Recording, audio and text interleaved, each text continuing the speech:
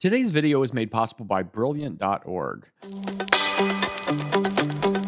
Today I've got this nice and somewhat surprising problem from my favorite calculus book. It's Calculus by Spivak. And you can find a link to it in my Amazon store down below if you're interested.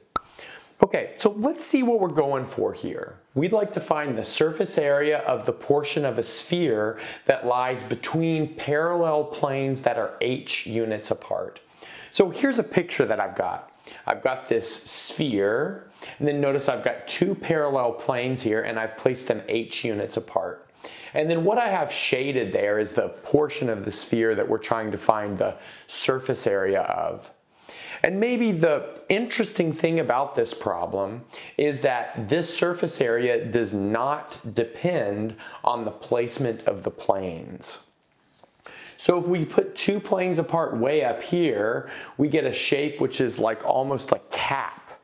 But if we put the same two planes with the same distance down here, it looks closer to a cylinder. And that surface area will be the same even though those shapes are totally different. So I find that interesting. And maybe as a follow-up question, um, could you determine if the volumes are the same? I think they're not. Or are the maybe arc lengths the same between two points? Maybe that's also kind of an interesting question. Although that would maybe need to be formulated a little bit more carefully. Okay, so what's our major tool here?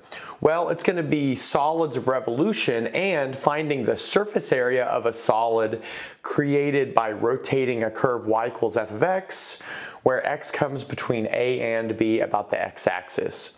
So here's a SketchUp of what's going on here. I have my curve y equals f of x between a and b, and then I want to split this region from a to b into n subintervals. And then we're going to focus on the ith subinterval between xi minus 1 and xi, and let's zoom in. Notice that gives you the following picture. And the idea here is we approximate the curve by a straight line on that subinterval and thus on all of these subintervals. And then if we do the rotation there, it's a little bit easier to work with. So this straight line will rotate to this like kind of maybe a cone with the top cut off, that sort of shape. And notice this cone with the top cut off has some important measurements. First of all, this radius up here is f of x sub i. This radius down here is f of xi minus 1. And then, using the mean value theorem, we can actually find the hypotenuse portion of this cone to be the square root of delta x squared plus this derivative squared times delta x squared, where delta x is the distance between these two pieces of the subinterval. So I'm leaving lots of details out here, but that's because we want to keep this maybe focused on our main problem.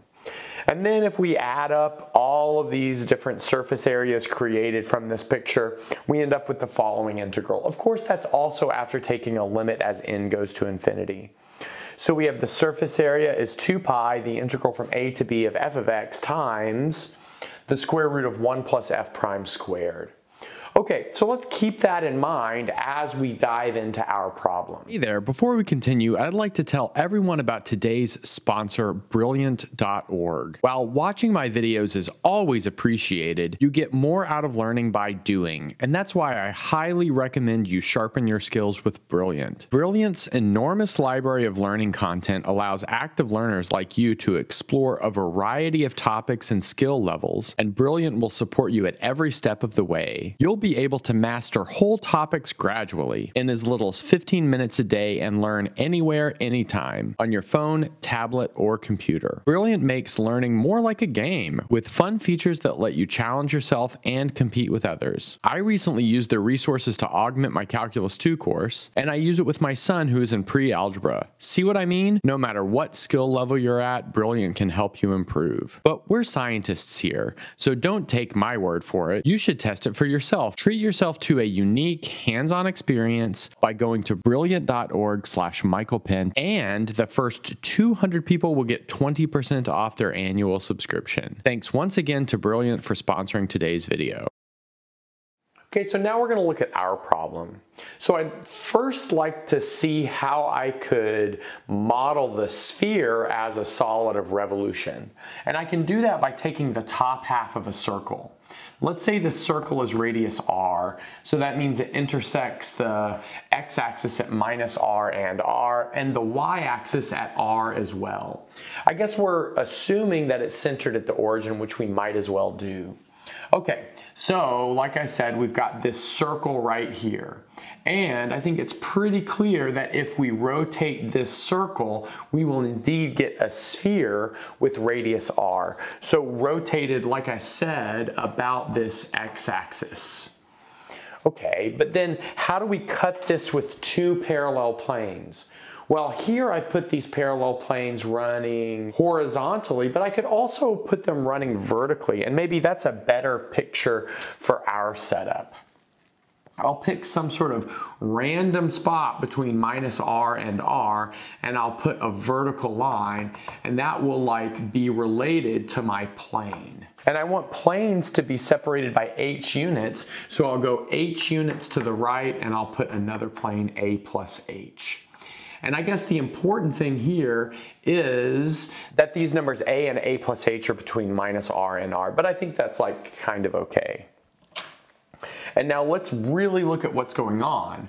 Now if we rotate this portion, which I am shading in blue, we'll see that we would get exactly what we want. We would get a portion of a sphere between two parallel planes that are h units apart. It's just kind of lying on its side versus this picture. Okay, but now let's put this in terms of our volumes of solids of revolution. So this guy right here is built from the equation x squared plus y squared equals r.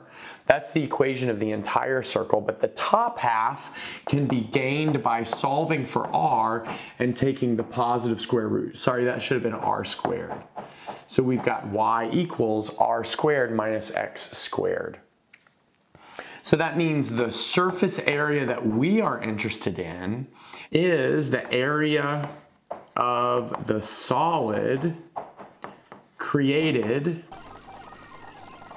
by rotating y equals square root of r squared minus x squared with x on the interval a to a plus h about the x-axis. So that puts it exactly in terms of what we had on the board before.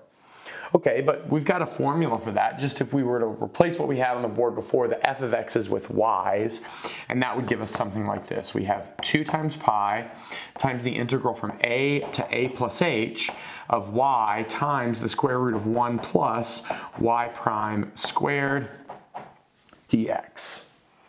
Okay, well, let's maybe above here, just so that it's off to the side a little bit, calculate y prime. So notice y could be written as r squared minus x squared to the half power. Maybe that would help us take the derivative e more easily. So we'll have y prime is equal to 1 half r squared minus x squared to the negative half times negative 2x using the chain rule. So that means in the end, the 2 and the 2 will cancel. One's in the numerator and one's in the denominator. And that leaves us with negative x over the square root of r squared minus x squared, keeping in mind that that negative half power is a square root in the denominator. But now squaring that will be easy just to write in. So let's see what we have.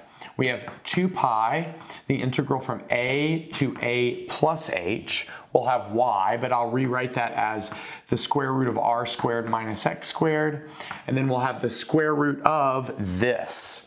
And let's do the calculation. This is 1 plus this function squared, this minus x over the square root of that stuff squared.